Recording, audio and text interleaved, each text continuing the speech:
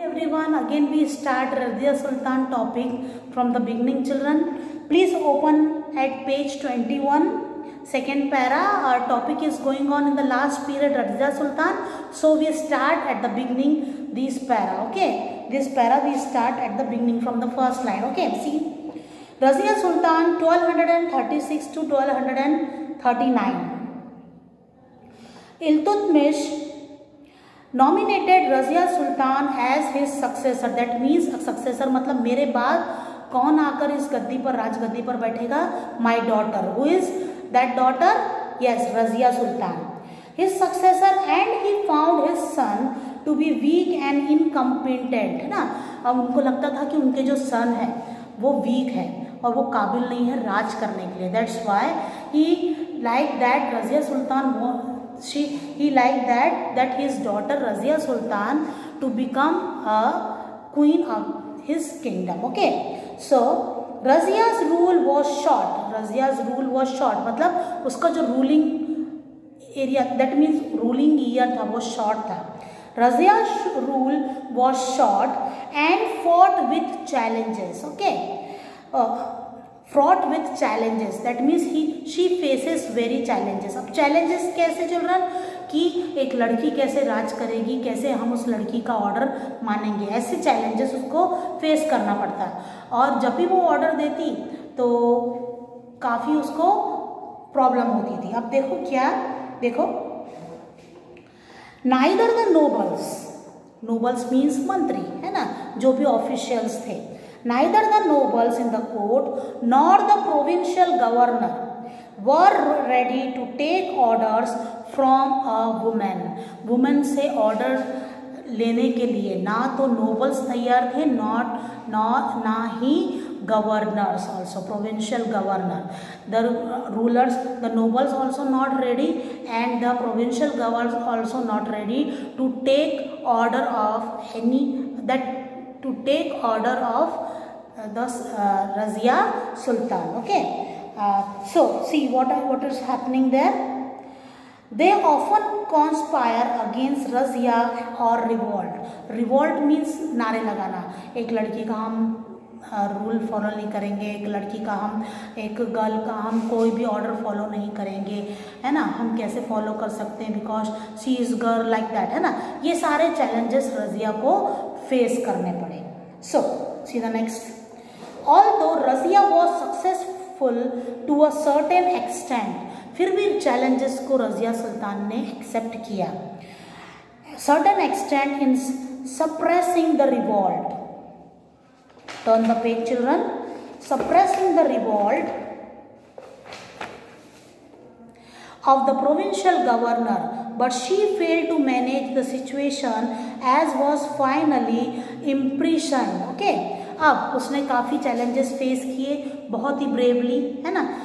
जो provincial governor उसके order को मानने से इनकार कर रहे थे, वो भी चैलेंजेस उसने फेस किया। But he was the situation है ना? वो उस सिचुएशन को मैनेज करने से फेल हो गई। कितना लड़ेगी, है ना? Fail the situation and was finally imprison है ना? और फाइनली उसको इम्प्रीजन मतलब कारागार में डाल दिया गया। See then she took a bold step to win over the nobles अब उसने एक अहम कदम उठाया, है ना? बोल्ड स्टेप अब क्या कदम उठाया? देखो। Then she took a bold step to win over the no री ओवर द रिबेल यानी ये लड़ाइयों से, है ना?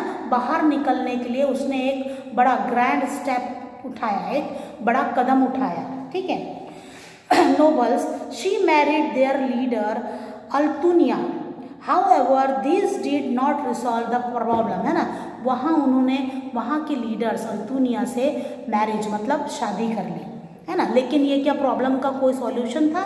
No Altunia however this did not resolve the problem ये सब करने से प्रॉब्लम रिजॉल्व नहीं होती okay both Razia and Altunia were captured by the rebel and killed in 1240 CE okay rebel जब ये रिबेल चल रहा था, झगड़े, फसाद चल रहे थे, है ना? तो उस उस समय रजिया और अल्तुनिया को कैप्चर कर लिया गया मतलब बंदी बना लिया गया और किल कर दिया गया in twelve hundred and forty C please underline it 1240 C में रजिया सुल्तान और उसके हस्बैंड को मार दिया गया। ओके ये झगड़ों में। सो नसरुद्दीन मोहम्मद। अब Nasiruddin sorry Mohammad not Mahmud okay Nasiruddin Mahmud. Our next topic is Nasiruddin Mahmud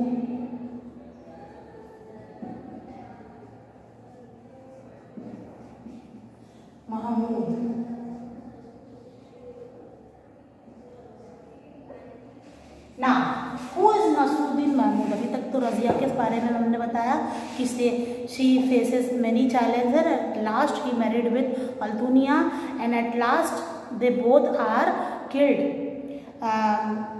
and capture and killed okay in twelve so our next topic is Nasiruddin Mahmud who was Nasiruddin Mahmud let see the topic children Nasiruddin Mahmud twelve hundred and forty six to 1266 that means 20 years nearly 20 years he ruled who is nasruddin mahmud see after razia's death Nasruddin Mahmud, the youngest son of Iltutmish, was made the Sultan. Iltutmish का youngest son, सबसे छोटा बेटा.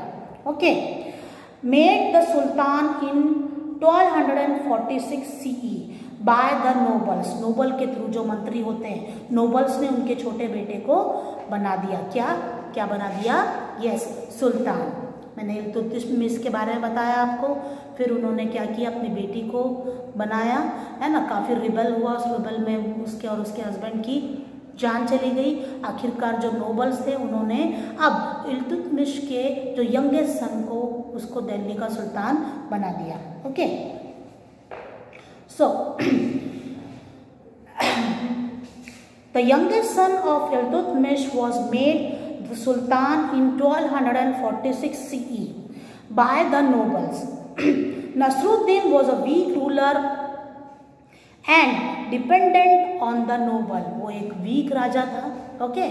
जो challenges accept नहीं कर पाता था he he was a weak rulers and dependent on the ruler और पूरी तरीके से किस पर डिपेंडेंट होता था चिल्ड्रन फॉर नोबल्स जो जो नोबल्स होते हैं ना ऑफ़ घुड़सवार या जो भी मंत्री या जो भी होते हैं ओके नोबल्स के ऊपर पूरी तरीके से डिपेंडेंट होता था कौन? Nasiruddin Mahmud. Clear during his twenty years reign बीस साल के राज करने के बाद during his twenty year reign the real power was concentrated in hands of Chahalgani अब पूरा जो रियल पावर था, किसके अंडर चले गया children Chahalgani okay and its leader Ghiyasuddin Balban और उसका राजा कौन था? उसका लीडर कौन था? गियासुद्दीन बालबन ओके अब पूरा 20 साल के राज के बाद पूरा जो रीन था, किसके अंदर चले गया? गियासुद्दीन बालबन जो लीडर था, किसका? चहलगानी का ओके ना after Nasiruddin death in 1266 CE Balban become the sultan and rule for the next two decades okay Balban को सुल्तान बना दिया गया। और उन्होंने टू डिकेट्स डिकेट्स अंडरलाइन करो वन डिकेट्स मतलब टेन ईयर्स होता है टू डिकेट्स मतलब ट्वेंटी ईयर्स होता है क्लियर एक डिकेट्स का मतलब टेन ईयर से रिलेटेड है क्लियर तो आफ्टर नसरुद्दीन डेथ जब नसरुद्दीन की डेथ हो गई okay so in 1266 Balban became the sultan and the and ruled for the next two decades, और दो बीस सालों तक बालबन ने राज किया। अब नेक्स्ट हमारा टॉपिक है बालबन है ना? जिनके बारे में हम पढ़ेंगे। नसरुद्दीन महमूद के बाद कौन आया children Balban Balban now see the topic children Ghyasuddin Balban was one of the most efficient ruler of the Delhi Sultanate. During his long rule, he established absolute authority of the Sultan, crushed the powerful, sorry, crushed the power of the nobility, ensured stability by suppressing the revolt of provincial governor and undertook a thorough reorganization of his army. Again i read out this para carefully and explain you each and every line. See balban उस बालबन गयासुद्दीन बालबन मैंने आपको बताया था कि नसरुद्दीन महमूद के बाद power किसके under चली गई थी? गयासुद्दीन के अंडर चली गई थी। और गयासुद्दीन का पूरा नाम था गयासुद्दीन बालबन बालबन ने 20 साल तक राज किया। ओके, अब फ़र्स्ट पैरा मैं एक्सप्लेन कर रही हूँ। Ghiyasuddin Balban was one of the most efficient ruler of the Delhi Sultanate Delhi Sultanate का एक इफिशियंट रूलर था। एक अच्छा रूलर ओके एक brave ruler during his long rule लंबे समय तक उसने रूल किया था। टू डिकेट्स बताया ना मैंने? That means twenty years during his long rule he establish absolute authority of the sultan है ना? उसने क्या गेन किया? Absolute authority okay he establish absolute authority of the sultan काफ़ी अथॉरिटी काफ़ी पायर पावर उसने गेन की। किसने? सुल्तान ने। कौन से सुल्तान ने चिल्ड्रन यस गियासुद्दीन बालबन ने crush the power of nobility जो भी मंत्री थी, है ना? उनकी पावर को क्रश किया, यानी उनकी चलने नहीं दी उसने। कि किसने? गियासुद्दीन बालबन ने। नोबिलिटी की बिल्कुल भी चलने नहीं दी। Ensure stability by suppressing the revolt of provincial governor है ना? यहाँ पर क्या बताया? Ensure stability by suppressing revolt जो रिवॉल्ट होते थे ओके प्रोविंशियल गवर्नर्स में, है ना? तो वो भी उसने बंद करवा दी है, अपनी पावर के थ्रू किसने? बालबन ने। नोबल्स नोबल्स का चलने नहीं दिया, जो मंत्री वगैरह थे, उनकी चलने नहीं दी। और जो प्रोविंशियल गवर्नर थे, उनका जो भी रिवॉल्ट होता था, वो भी, जिसके भी खिलाफ आवाज़ उठाते थे, वो आवाज़ को भी उसने अपने पावर के थ्रू बंद कर दिया मतलब उनकी चलने नहीं दी okay and undertook a thorough reorganization of his army army army means क्या होता चिल्ड्रन जो लड़ने के लिए राजा के, को काम देती है, उसको आर्मी कहते हैं, है ना? जो तलवार लेकर राजा के लिए लड़ती है ना? तो रीऑर्गेनाइजेशन ऑफ़ आर्मी बालबन ने अपने आर्मी को रीऑर्गेनाइज किया, उसमें चेंजेस लाए, है ना? उसमें बदलाव लाया। है ना? उसको और अच्छा बनाया कि कैसे स्ट्रेटजी के थ्रू हम लड़ सकते हैं वॉर में। यानी स्ट्रेटजीज क्या होती है? स्ट्रेटजीज मतलब आइडियाज़ लगा करके, है ना? दिमाग से, है ना? कैसे लड़ सकते हैं? है ना? तो उसने अपने एडमिनिस्ट्रेशन अपने आर्मी पर को चेंज करवाया। See the next para children one of the major challenges for the rulers of Mamluk dynasty was their lack of royal lineage. Balban himself was a slave in his earlier life अब जैसे कुतुबुद्दीन ऐबक थे इल्तुतमिश थे है ना? वैसे ही बालबन भी है ना अर्लियर लाइफ में स्लेव थे। And later he become a part of Chahalgani okay जैसे मैंने बताया ना चलंगानी के हाथ में पूरी बाल नशरुद्दीन महमूद की पूरी पावर चली गई। फिर वो किसके पार्ट बने? यस yes, उन वे फिर चहलगानी के पार्ट बने। कौन बालबन अर्लियर लाइफ में वो क्या थे? स्लेव थे। और फिर वो किसके पार्ट बने? चहलगानी के। Okay to establish an unchallenge authority he declare that sultan should be considered as the representative of god on earth. वो कहता था कि सुल्तान कौन होते हैं? Representative of god representative of god means god के जो फरिश्ते होते हैं ना, वैसे होते हैं। इस अर्थ पर गॉड के भेजे हुए फरिश्ते होते हैं। ऐसा बालबन कहता था। Okay again I repeat the line to establish an unchallenge authority है ना? टू स्टैब्लिश एक एक अथॉरिटी उसने अनचैलेंज अथॉरिटी स्टैब्लिश की थी, है ना? कि किसी की चलने नहीं दी थी अपनी पावर चलाई थी, है ना? एक अनस्टैब्लिश है ना? वो एक अनचैलेंज अथॉरिटी को उसने इस्टेब्लिश किया था, जिसको कोई नहीं कर सकता तो उसने बालबन ने करके बताया था। तो he declare that sultan should be considered as the representative of god कि सुल्तान जो होता है, वो तो गॉड का भेजा हुआ एक रिप्रेजेंटेटिव मतलब एक फरिश्ता या भगवान का दूत, आप जो भी बोलो, है ना, उसकी तरह होता है okay to be considered as the representative of god on earth Balban also introduce the Persian custom of sijda उसने क्या इंट्रोड्यूस किया था? सिजदा सिजदा क्या होता है? सी kneeling and touching one's forehead to the ground as show of respect. जैसे हम पूरा सर झुका करके पूरी तरीके से अपने हेड को ज़मीन पर टच करते हैं ना, उसको सिजदा कहते हैं, ऐसे झुक करके। है ना? कि वो एक रिस्पेक्ट देना होता है। है ना? अपने अथॉरिटी को अपने रूलर को, अपने सुल्तान को एक रिस्पेक्ट देना। सिजदा करो, जैसे बोलते हैं ना।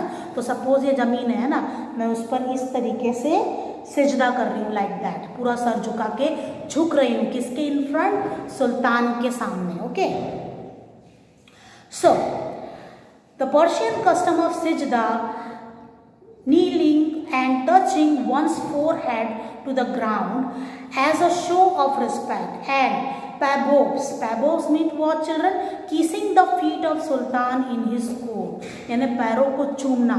है ना? उसको क्या कहा गया है चिल्ड्रन पैबोब ओके कि सुल्तान के कदमों को चूमना। पैर पैर जैसे हैं, उसको जो है, मिलने आ रहा सुल्तान।